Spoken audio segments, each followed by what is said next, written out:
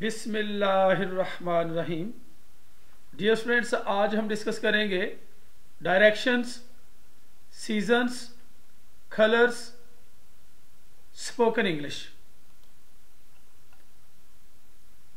सबसे पहले डायरेक्शंस अतराफ।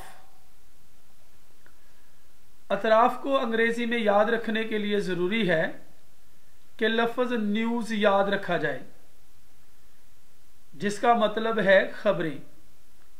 इस लफज में एन से मुराद नॉर्थ है।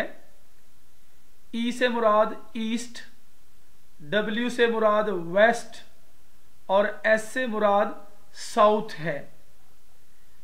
न्यूज़ को खबरें के लिए इसी वजह से इस्तेमाल किया जाता है कि इसमें चारों अतराफ की खबरें होती हैं। वर्ड मीनिंग लफज मानी।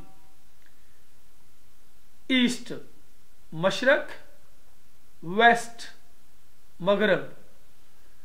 साउथ, जनूब, नॉर्थ, शमाल। वर्टिकल अबूदी हॉरिजॉन्टल। उफकी अपवर्ड ऊँचा, बैकवर्ड, पीछे की तरफ़। डियर स्टूडेंट्स आइए अब सीजन्स मौसम पढ़ते हैं। अंग्रेज़ी में मौसमों के नाम दिए जा रहे हैं। उम्मीद है कि तलबा इन्हें याद करके किसी गलती के इस्तेमाल से बचेंगे। वर्ड मीनिंग समर मौसम गर्मा। विंटर मौसम सरमा। रेन्स मौसम बरसात रेन्स को रेनी सीज़न भी कहते हैं। स्प्रिंग मौसम बहार आठम मौसम खिजा या आठम डियर स्टूडेंट्स आइए अब रंगों के नाम। कलर्स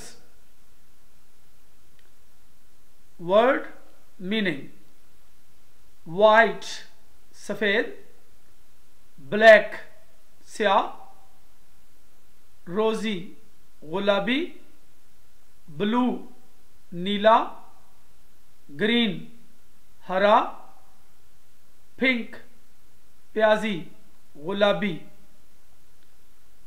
स्काई ब्लू, आसमानी, गोल्डन, सुनहरा। वायलट, जामनी, रेड, सुरख। येलो पीला ऑरेंज नारंजी ब्राउन भूरा ग्रे की स्पेलिंग दो तरह से हैं जी आर ए वाई और G R E Y grey स्लेटी, खाकस्तरी रंग पर्पल बैंगनी, अर्गवानी कलर भी इसको कहते हैं डस्की खाकी स्कारलेट गहरा लाल। डियर स्टूडेंट्स इसके साथ ही इजाज़त चाहता हूँ। अल्लाह हाफिज़।